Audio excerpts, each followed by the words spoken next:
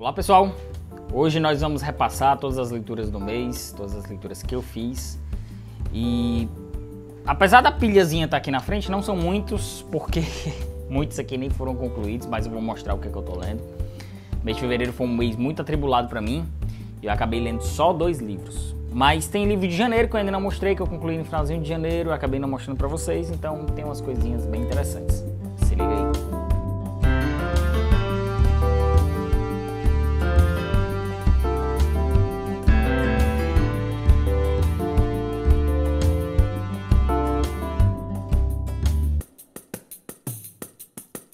Bom pessoal, já vou pedindo para vocês darem o like nesse vídeo, inscrevam-se no canal se ainda não estiverem inscritos e confiram o sininho de notificação, isso é muito importante, às vezes você está inscrito, está com o sininho ativo, mas não recebe a notificação, sempre às terças e sextas-feiras são os dias dos nossos vídeos.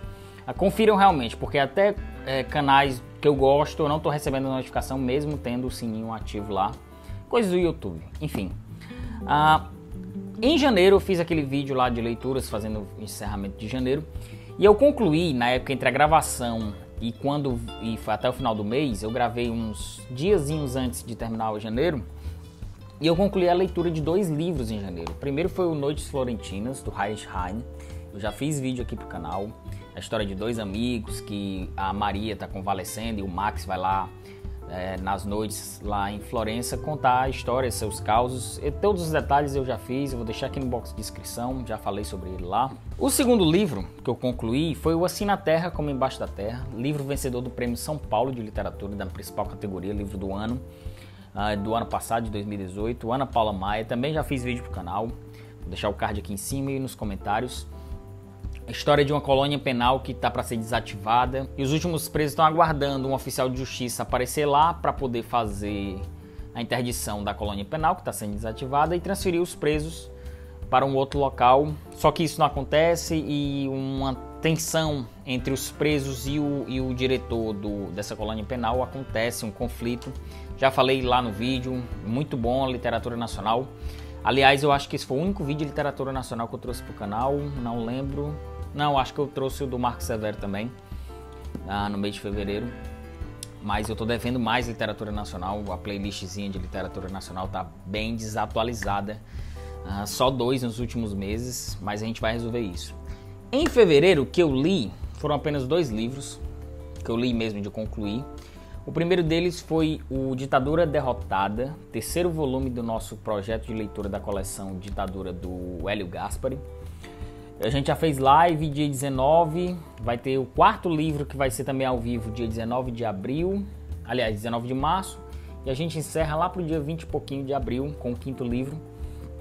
Esse é o melhor livro da série que eu achei, que ele destrincha o poder de dentro para fora, que é de Brasília para o resto do país. Uh, conta muitos detalhes do governo Geisel, Ernesto Geisel, e como ele chegou ao poder, que de fato era a, a o Gaspari, quando imaginou esse projeto, em vez de cinco livros, seria somente um, que seria com esse título, Sacerdote ou Feiticeiro, que era a relação do Gaspar, do, do Geisel com o Golbery, uma espécie de secretário ali próximo dele, um, um, um, conselheiro dele. E o projeto tomou tanto corpo que ele acabou fazendo os outros livros desde o início da, da ditadura militar. Aqui a gente já está no mais ou menos, a gente vai até 74, 75, se eu não estou enganado, com esse livro e tem mais dois até chegar em 1985. Então fica atento, se você ainda não conhece, eu também vou deixar o, os vídeos aqui embaixo para você assistir, todos os ao vivos. A História do Brasil, para quem gosta, eu recomendo muito. E eu concluí a leitura do Patrimônio, do Philip Roth. Eu não confesso que não estava nem um pouco nos meus planos, mas um amigo meu esteve aqui em casa e ele recomendou fortemente. Uh, não vou contar quem é esse amigo, que depois eu vou contar é, para vocês.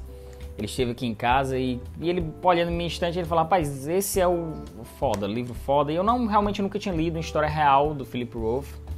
Ah, ele conta a história do pai dele que descobriu aos 86 anos que teve, tinha um tumor cerebral e estava ali já convalescendo nos seus últimos momentos de vida. E é interessante a gente observar essa faceta do Rolf se despindo das suas características artísticas, que ele ficou muito reconhecido por ser um cara durão ali, que tem uma, uma temática muito masculinizada nos livros dele, e aqui ele faz revelações é, até surpreendentes, que a gente conhece um outro lado do Philip Roth, lado real, lado pessoal, íntimo, familiar dele. Bastante interessante, eu vou fazer vídeo, vou gravar ainda, e em breve vai ter aqui no canal.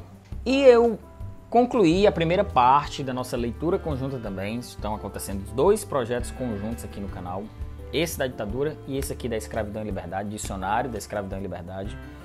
A gente, eu li os seis primeiros artigos desse dicionário, já fiz vídeo aqui pro canal também, tudo aqui embaixo. A Natasha Henneman, do canal Redemunhando, que está nessa parceria comigo fazendo esses vídeos, vai fazer agora em março. No mês de março ela vai fazer os artigos, então você fica atento aqui no, no Seleção Literária, fica atento no canal dela.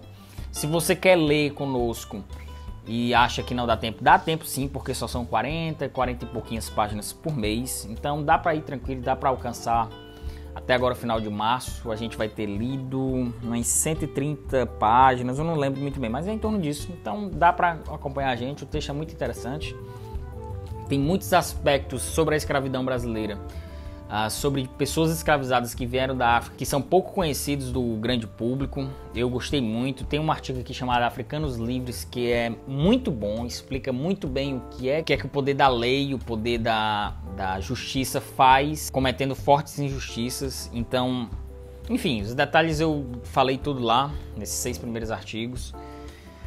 E mais do que nunca, eu, eu reitero isso, eu reafirmo isso, que a gente precisa conhecer a nossa história, precisa conhecer os nossos ancestrais negros para a gente tentar diminuir esse racismo endêmico que existe na nossa sociedade. A gente teve mais um caso recente agora de um empresário que foi tomou um, um mata-leão, uma gravata de um segurança dentro do banco da caixa. É dentro do supermercado, é no banco da caixa, é no ônibus, é na escola, enfim, é em todos os locais. Então a gente somente a gente resgatando a história desses ancestrais, entendendo, buscando compreender essas injustiças sociais que de fato tivemos nesses 300 anos de escravidão. A gente não está falando aqui de 30 dias, a gente não está falando de um trauma aqui de 30 anos, a gente está falando de um trauma de 300 anos. Posso estar sendo um pouco repetitivo com isso, mas mais do que nunca a gente tem que bater nessa tecla, a gente falar sobre o racismo brasileiro e, e condenar fortemente atitudes como a gente teve recentemente, é, que estão ganhando uma notoriedade midiática sobre esse assunto e é bom que se tome mesmo, porque uh, talvez isso iniba mais a ação desses racistas e a gente cria uma, uma, uma consciência, uma consciência social nova é, que a gente tanto precisa, né? Bom, e eu tô lendo, uh, tem um aqui fininho que eu até mostrei para vocês no Instagram, que já era para mim ter concluído, mas o mês de fevereiro muito difícil, eu só consegui ler esse mesmo do ao vivo e esse do Wolf que fluiu muito bem, rapidinho eu li, eu li.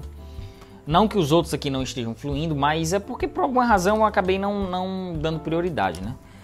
Ah, o Diário de um Homem Supérfluo, do Turgenev. Eu vou gravar vídeo para ele, eu deve terminar logo logo. Ele é muito curtinho, mas eu, eu tô lendo bem devagar, quase, eu tô lendo quase uma página do diário como é, numa sequência mesmo, antes de dormir. Então, mas logo em breve eu vou fazer vídeo pro canal. A gente vai falar desse rocinho aqui, o Turgenev. Tô lendo também bem devagar os contos preferidos da Lígia Fagundes Telles, que ela escolheu dessa antologia, meus contos preferidos. Aqui tem os clássicos dela. E é interessante esse tipo de, de antologia escolhida, selecionada pelo próprio escritor, no caso pela escritora, a Lígia Fagundes porque uh, ela foge do que seria mais ou menos comercial, é, um, é mais íntimo dela que ela joga aqui, mesmo que é mais sucesso, como clássicos aqui, Antes do Baile Verde, ah, tem aquele do pôr do sol, venha ver o pôr do sol, antes do baile verde. São, são as formigas, são crônicas, são contos bem conhecidos dela, mas também tem outros desconhecidos, mas que são muito bons. Eu tô lendo muito devagar esse livro também. Às vezes eu leio um conto, eu paro, encosto ele, depois eu leio mais dois, e assim vai. E eu pretendo ler. Eu ganhei do Yuri, do meu amigo Yuri Livrada, lá quando eu estive em novembro em São Paulo. Ele me deu e eu vim, eu tô lendo bem devagar, aproveitando esses contos da Lígia Fagundes Telles. E tô lendo essa brincadeirinha aqui, chamado Bússola do Matias Denardi. Eu acho que eu já mostrei para vocês o book haul aqui, enfim. Livro muito bem escrito, tem uma temática interessante que é o cara que está com uma doença terminal. Ele está doente, ele está enfermo, convalescendo, não diz exatamente se é terminal. E numa noite de insônia se passa todo esse livro, todas as lembranças dele. Que ele é um orientalista, ele é um músico que estudioso sobre a, as questões artísticas orientais, então tem bastantes referências aqui nesse vídeo ou nesse livro. E mas ele fica um pouco cansativo, apesar das referências, porque eu não consigo captar todas as referências, infelizmente. Tem assuntos aqui que eu desconheço. Mas não significa também que o livro tenha. tenha. Não tem um ritmo bom. Ele tem um ritmo bom, mas ele precisa de uma certa atenção. Não consigo levar ele para qualquer lugar para ler, então eu, eu, tento deixar ele mais em casa. Mas eu vou ver se no carnaval eu já liquido ele aqui. Eu tô na metade. Vou ver se eu consigo concluir. Ele é um livro bem denso, realmente. Tem uma, tem uma história muito interessante. E eu quero ver o desenrolar aí dessa, dessa madrugada dele aqui, com essa insônia. Eu estou aqui mais ou menos às duas horas da manhã, eu acho que vai até às 6. Começa às 11 da noite e vai até 6 da manhã, se eu não me engano. Toda a insônia desse, desse personagem. Mas enfim, a gente vai ver o que, é que se desenrola aqui desse livro. Vai ter vídeo também pro canal, com certeza. Eu tenho uns muitos assuntos, apesar de ser um, de ser um livro de muitas referências, é, tem muitos assuntos que eu quero tratar aqui com vocês no canal. Ah, pessoal, é isso. Essas foram as minhas leituras, concluídas mesmo, mesmo só duas, mas tem muita coisa para concluir. Eu quero aproveitar esse carnaval agora, essa sexta-feira, emendar aí que eu não vou fazer nada. A única coisa que eu quero nesse carnaval é dormir tarde e acordar tarde. E basicamente é isso. Me conta aí o que é que você separou para ler no carnaval, o que é que você andou lendo em fevereiro. E vamos aproveitar aí o mês de março, dar esse gás aí nas leituras. Compartilha com os amigos, dá o like nesse vídeo e é isso aí. Tchau.